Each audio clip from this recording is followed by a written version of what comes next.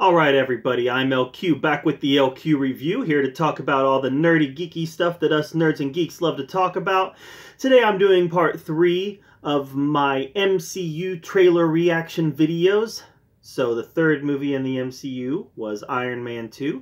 So that's the trailer I'm going to be reacting to today. As we get closer to Avengers Endgame, I'm going to continue reacting, oops, I'm going to continue reacting to these, uh, to these trailers as we um, start checking off the boxes until I've reacted to all the MCU movies leading up to Endgame.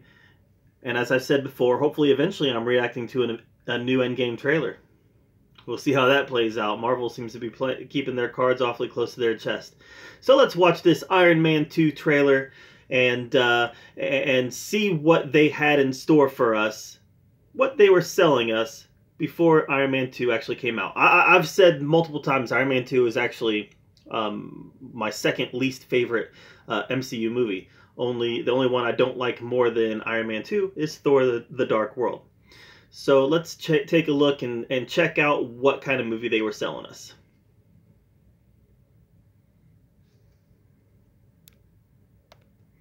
Could we pick up now where we left off? Mr. Stark, please. Yes, dear. Can I have your attention? Absolutely. Our priority here is to have you turn over the Iron Man weapon to the American people. Well, you can forget it. We're safe. America is secure. You want my property? You can't have it. But I did you a big favor. I have successfully privatized world peace.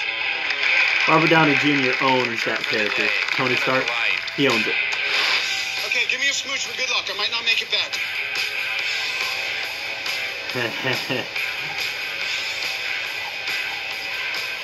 Go get him, boss. you complete me?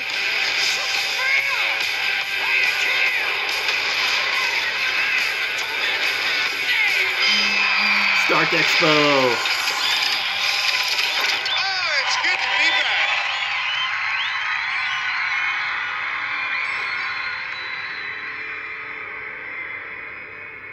You come from a family of thieves and butchers. Whiplash. And now, like all guilty men, you try to rewrite your own history.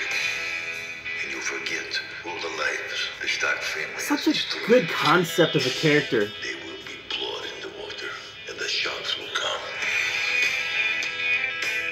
Ultimately, Whiplash was botched, but it's such a great concept. First appearance of Black Widow.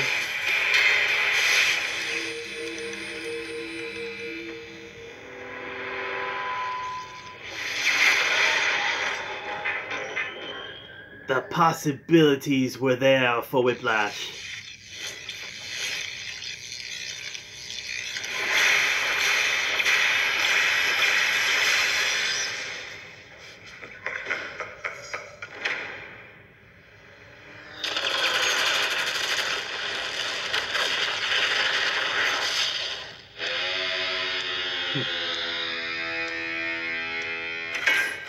Such a good picture, good scene. Ah, man. All right, so yeah, I've been on record. Iron Man Two is is my, is one of my least favorite MCU movies. Um, I just feel like it was all about world building and less about story, and that was not. There was nothing more evident in that than the character of Whiplash. Whiplash was there to drive the the narrative forward. He wasn't there for any real narrative reason.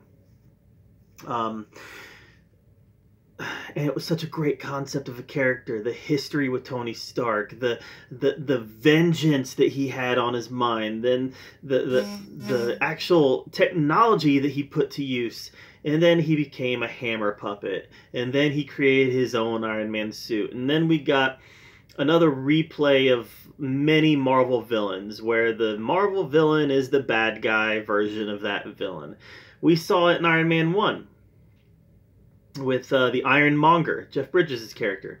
And then we see it in Iron Man 2 with Whiplash becoming yet just another bad version of Iron Man.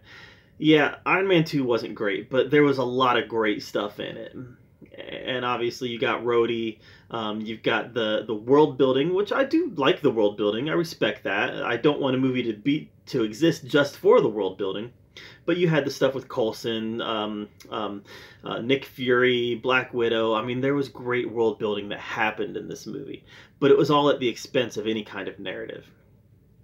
So, like I said, uh, I, I, Iron Man 2 will never go down as one of my favorite MCU movies.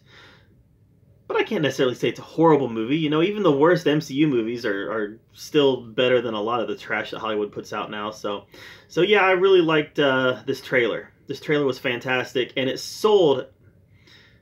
I guess you can say it sold the movie that we got, but it in some ways it sold a better movie. So that's just my opinion, anyways. Maybe you're one of the people that loves Iron Man 2. There's a lot of you out there. If you do, that's completely valid. But uh, Iron Man 2 just didn't really work for me. So again, I'm LQ. This is the LQ review with part three of our um, MCU trailer reaction adventure. Next one is what? Next one, I believe, is Thor.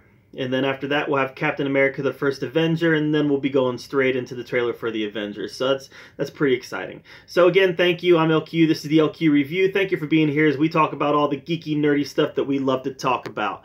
Thanks, and I will see you next time.